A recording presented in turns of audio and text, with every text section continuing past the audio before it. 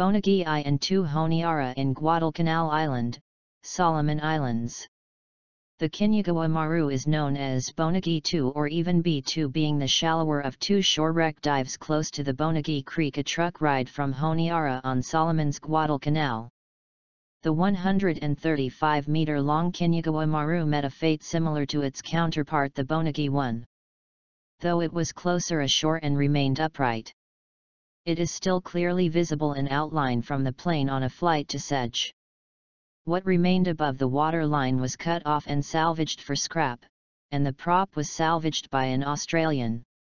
It is an easily circumnavigated wreck and we started at the bow, traversed the port side down to the gap between the stern post and the rudder at 23 meter, then back up the starboard side and finally spent the remainder of the hour's dive in what was once the bow in 7 meter.